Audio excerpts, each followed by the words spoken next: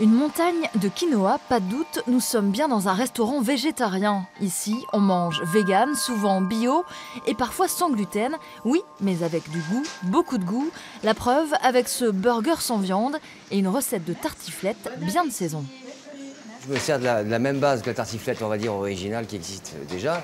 Les lardons, j'utilise du tofu fumé que je fais mariner et laquer dans du tamari, c'est une sauce euh, asiatique ce qui donne ce côté euh, fumé, ce côté croustillant des lardons. Seulement, euh, moi, je végétalise le fromage, qui n'est pas du fromage, mais du fromage, à base de lait végétaux. Après, on met ça par-dessus, on laisse cuire au four et ça fait une tartiflette euh, qui ressemble vraiment à la vraie. J'en ai bluffé quelques-uns et je suis très content du résultat. Honnêtement, moi, après il y a longtemps je n'ai pas mangé, mais c'est à peu près le même goût. Hein. Je ne pensais pas la première fois que je l'ai goûté que le fromage aurait autant de goût en fait. Mais euh, on retrouve les mêmes saveurs que dans une tartiflette euh, normale, je dirais. Ici, 80% des clients ne sont pas végétariens. On vient y déjeuner comme on va chez le chinois ou l'italien pour découvrir une alternative. Mais la plus grande fierté de ce restaurant, c'est de réaliser aussi des mets de fête, au premier rang desquels non pas le foie gras, mais le faux gras. Démonstration.